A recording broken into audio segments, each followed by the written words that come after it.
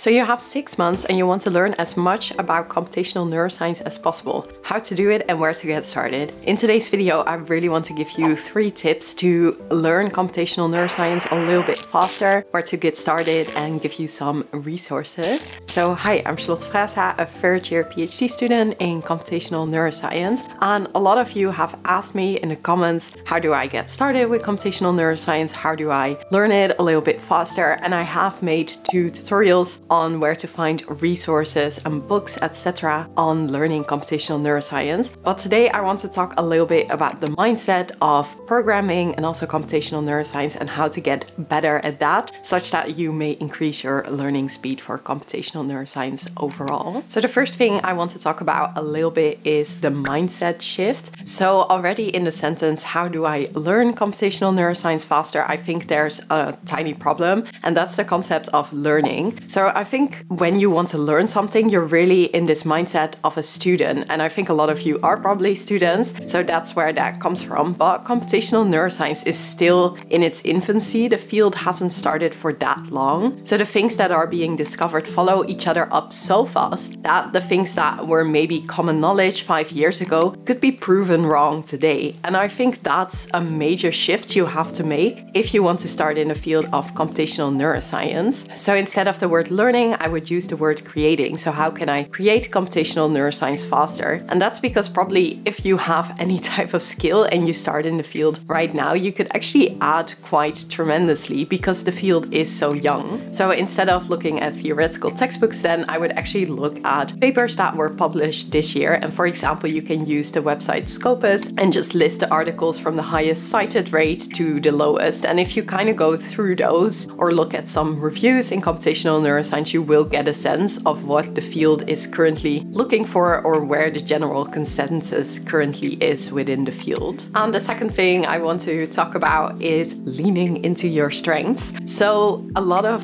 videos that I've made as well are emphasizing the ability to program. So, if you want to do computational neuroscience, you have to be quite a good programmer. But something that I've seen in the comments is that people really go for programming. But the thing you have to consider that if you want to be the best at computational neuroscience or you want to get really good at it and your only skill is programming, you need to be a damn good programmer to really stand out. And that's because within the computational neuroscience sphere, but also within the AI sphere, there are a lot of people that are trained as programmers from the start. So I've met a lot of PhD students and postdocs that are amazing programmers. But the thing is, if you're starting programming a little bit at a later age, the chances of you becoming as good as those programmers are quite slim unless you spend like eight hours a day programming. So instead of following the path of becoming the best programmer and in that way standing out with your skills, I would actually lean into the skills that you already have.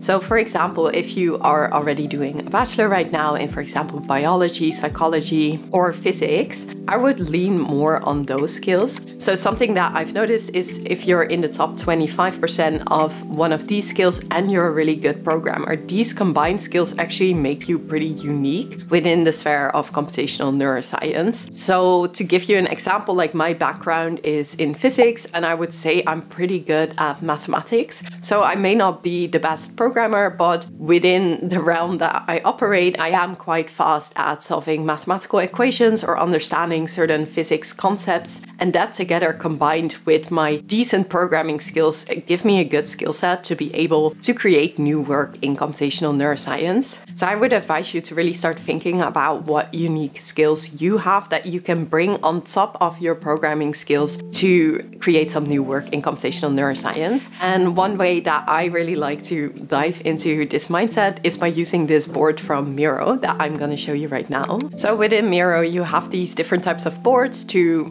get conversations going and all these things. But one that I really like is this personas board. And the personas board is usually used to create a character of a client, for example, that you want. But I find it also pretty good to understand your own motivations and mindset. So So for example, I created a persona board for myself. And the first step, what you do is you look at your own action, actions, motivations, and pains. And I think by understanding this, you can kind of see where your strengths are as well. So the first step is to fill in what you do every day. So for me, I have to research for my thesis every day and write code and think and teach. And then why I do it. So my main motivation for doing science actually is to learn as much as possible, but also to teach as much as possible. I enjoy both of these facets of science and combining them in my PhD is really nice. So my strengths, for me, that's really mathematics and programming. I think I'm quite good at both of them, not the best, but quite good. And I think it's also good to consider what is stopping you. So for me, definitely the reason why I'm not creating as much science as I could be is probably energy. I don't have all the energy in the world and also time. I like to spend my time on other things as well. So what convinces me, these are your values and for me they're wisdom and creativity. I think usually when I decide to endeavor on certain projects or want to do something, I usually pick if this is